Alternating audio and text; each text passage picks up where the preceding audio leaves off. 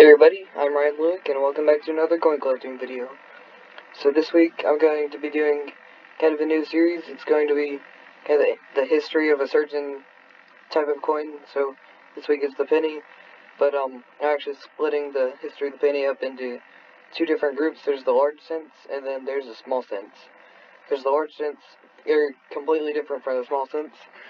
And so um, maybe I'll do like a uh, like a double video, kind of going over both, if um if you you guys want me to. And so, gonna go ahead and get started. So, first of all, large cents they're pretty much the original cent currency. Uh, the small cents came after that, and the small cent is the regular cent that we know today. And so, so they're changed to the small cent, and they're about the size of a half dollar, and that made them very large and inconvenient. So they're produced from 1793 to 1857. So, yep. So now we got the uh, flowing hair side for her, hair cent first. So the coins minted were 99,456.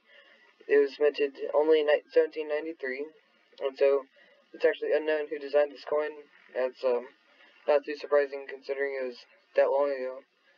Um, it weighs 13.48 grams. It has a diameter of 26 to 27 millimeters. It is composed of copper. The coin has a reeded edge, and the year of its production obviously was uh, 1793. So that's it for that. Uh, well, there you go. So here's the kind of overview of it better. Um, we've got the Liberty right here. It's got the unkempt hair, which is pretty much the main thing about this. We'll never see this again in a cent at all. So we got the date, and then actually got one out of 100 right here. That's uh, that's never on any other large cents, I think, or might be on the next one. But yeah, we'll see. And then we got the laurel wreath around one cent, which is also pretty much always been on the penny. And then United States of America. This is before the E pluribus unum became a thing to put on coins. So we got, and then um, it had two different subtypes. There's the chain reverse, which is not this one, and the wreath reverse, which is this kind. And then the chain reverse had a uh, chain instead of a laurel wreath. And so that was the only penny I think that ever had a, a reverse that without um, the laurel wreath, the chain subtype. And so, most of these cost over $5,000 because they're really old.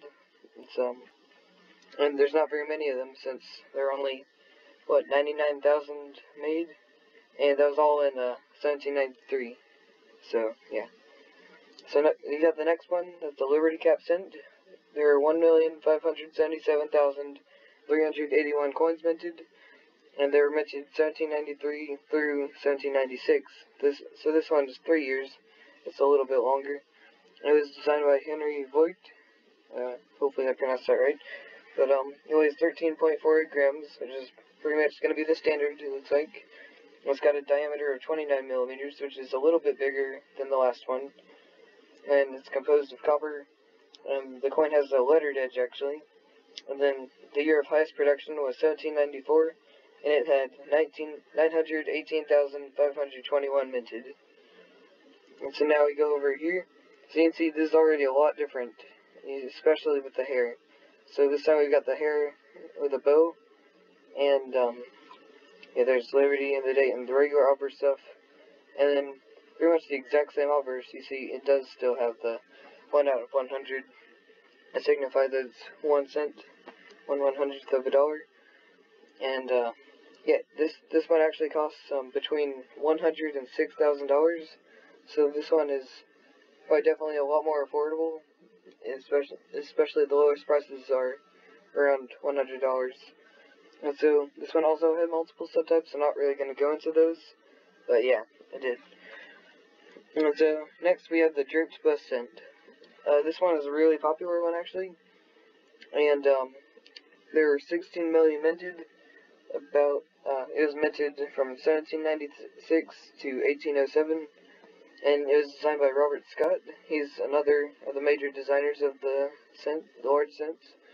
It weighs 10.89 grams. This one's weighs a lot less. It has a diameter is 29 milliliters. It's composed of copper.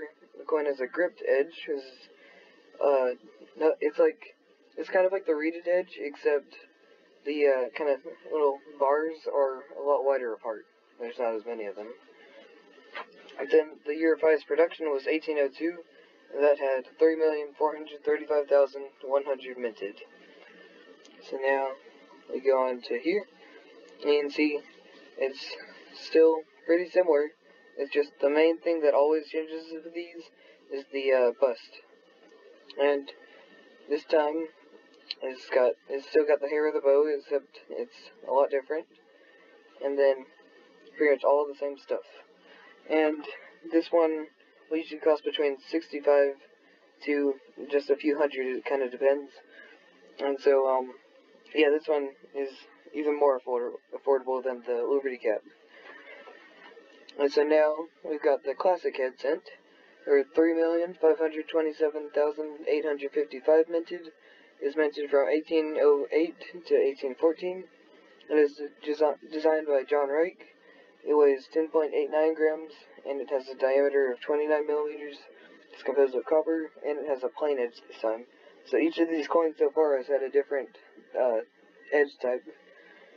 And so, and then the year's year of highest production was 1810, with uh, 1,458,500 minted. So now we've got overview of it. This time, there's a lot of differences. This is kind of pretty big upgrade.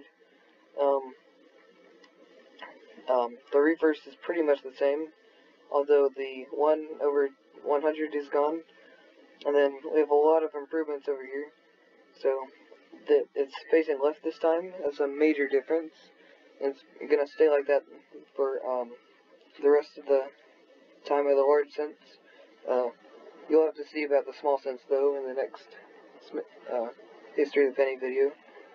And so, we got 13 stars for the regional states. This is the first time it ever appeared, I think. Which is in um, the first year that it was minted. We got the especially different hairstyle. We got the headband. And this is also one of the first times that the headband has appeared. And so, that's a pretty big hair difference. And that's pretty much it for that. It does cost, um, at least, usually at least $200, because this one's also a very popular one. And so there's 3,500,000 minted. So yeah. And so now we've got the Liberty head. This one, the coins minted are unavailable. So me go ahead and explain about the next few cents. So all of these were between 1816 and 1857, which was in the uh, last ones were minted, I think. Yep. And so, um, yeah, they're they're all kind of mixed together and kind of and kind of confusing, but I'll go through each main type of them. So it's unknown who designed it, but um, it weighs 10.89 grams, the standard diameter copper, and um, it's got a plain edge. So the year's IFI's projection is unknown. Yeah, I don't know the minted coins. So here it is. Here's the basic one. Here's 1836 right there. And um, I got the headband with Liberty again. This time it's a lot more detailed. We've got the headband and then the bun right there.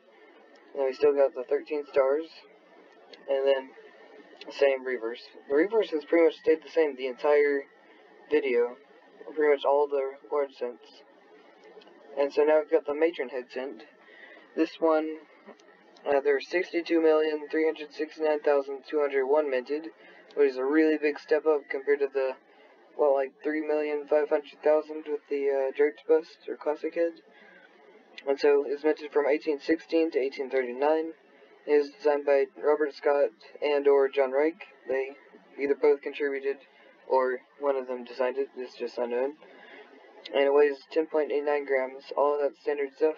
Still got the plain edge.